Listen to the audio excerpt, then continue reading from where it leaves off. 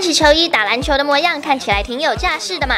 不过他这天的对手可是2017年 NBA 新人奖得主布罗格登。觉得，唉，我觉得应该会输了，而且会输蛮惨。我先，我先把我先，对，先给我自己一个退路，会输蛮惨的。我不敢说自己很好，对。对，很多男生都说我很强，对不对？没有没有，我还好。但重点是因为我有点太久没打了。这预防针打得挺好，输再惨也不怕糗。其实胜负不重要啦，光是能和现役 NBA 球星 PK 三分球就够让人羡慕了吧？像小乐也是，对他们他们都很迷 NBA，然后也觉得自己球技都不错，对，所以他们会想要说，在这个这个猜谜可以让他的粉丝朋友看一下，哎，他不只会唱歌跳舞，他的。哦，三分球蛮准的，对。可是我今天是来献丑的，不太不太一样。真的是很没信心哎，姑姑。